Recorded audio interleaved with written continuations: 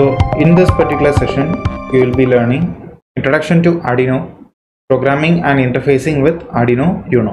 So what and all that particular programming structures, then which and all we have to apply it over here, and what is the basic structure or the pin diagram of an Arduino Uno.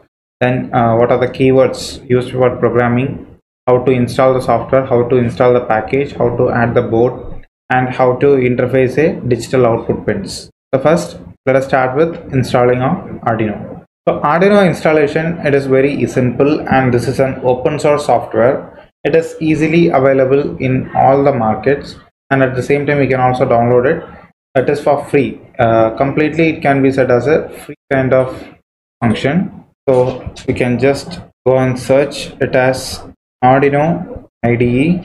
So download. It will redirect us towards the download part so from here uh, we have different different download options like windows 7 and the newer version.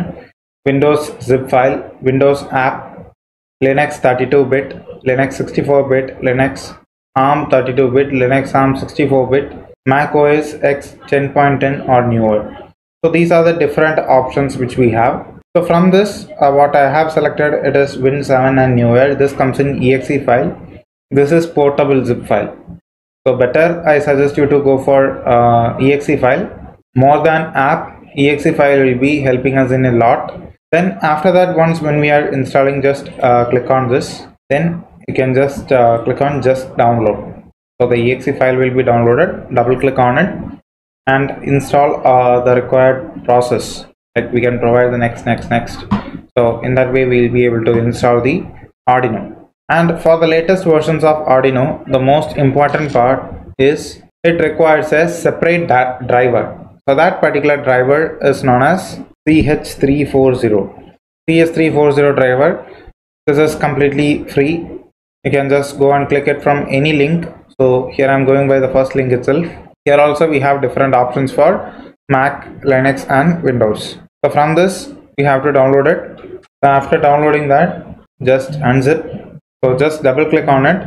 Whenever we are double clicking. Don't forget to plug our arduino. So initially in my system i have already installed. Even if i provided for installing once again also there won't be any issues. So that's why it is showing it as driver failed. So if i uninstall and install means it is accepted.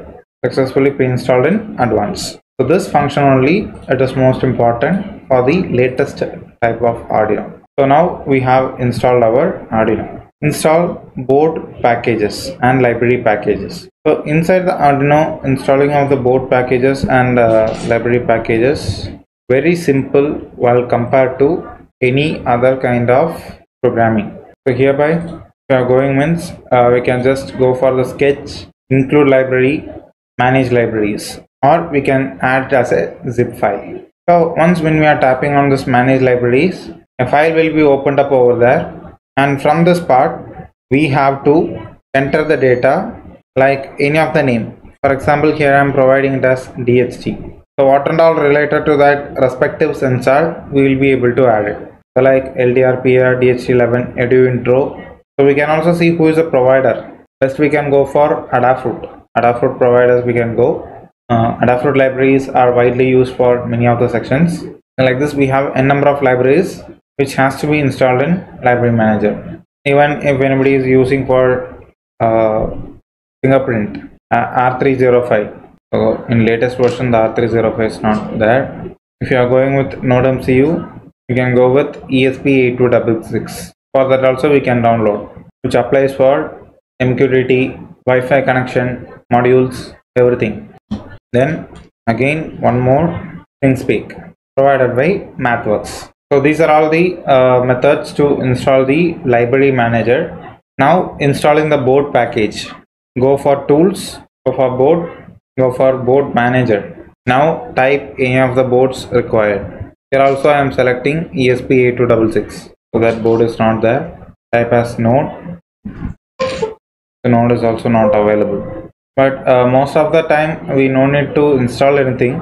Uh, sometimes everything it is already available you guys trying for stm uh, for some versions whatever you are connecting it is available inside the board manager or we can also download from anywhere as a external part that also can be added to the package. In this way only the boards also installed and here we have to connect towards the required port. So with that particular port only we will be getting all the data. If you want to know the board info means click on get board info. Rest all sections should be in a default manner.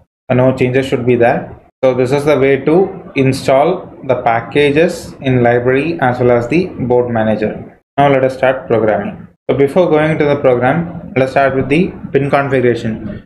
Without knowing the pin configuration, uh, programming is not possible. So here, uh, once when we are integrating this pin configuration upon this left hand side, where it starts from A0 to A5, totally six pins are there. These are known as digital pin, sorry, analog pin. These are known as the analog pin and from 0 to 13, these are known as the digital pin so inside a microcontroller, each and every pin has its own particular section. So this particular portion is called port C.